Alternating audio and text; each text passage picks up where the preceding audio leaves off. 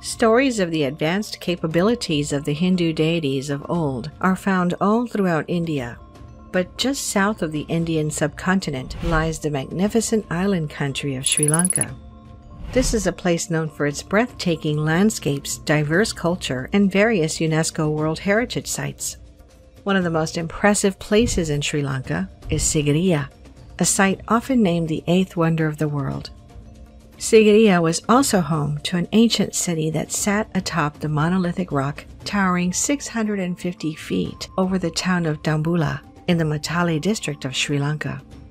The site attracts thousands of tourists daily and has been a UNESCO Heritage Site since 1982.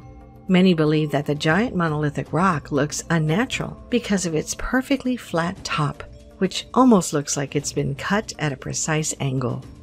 According to modern archaeologists, the earliest settlement on top of Sigiriya was the Lion's Fortress, built in the 5th century AD.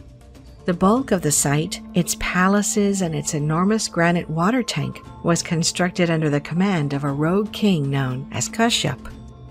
However, the locals believe this ancient site was built thousands of years before that by an ancient Hindu god named Ravana who is part of a race of beings known as the Asura.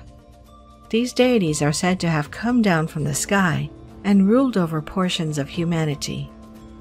In one of our recent videos, we discussed in detail the magnificent Rama Setu, an ancient bridge built between India and Sri Lanka by the god Rama, who waged war against Ravana. There, we provided much evidence supporting the belief that Rama Setu was indeed an artificial bridge built thousands of years ago by unknown beings. In these Hindu epics, it is said that Ravana ruled Sri Lanka from his palace in Sigiriya, and that the palace was destroyed after the war with Rama.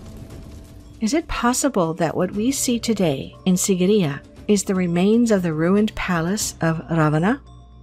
If the stories about Rama Setu turned out to be real historical accounts, is it possible that the stories about Sigiriya were also real?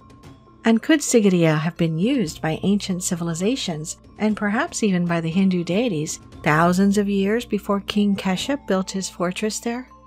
Before we find out,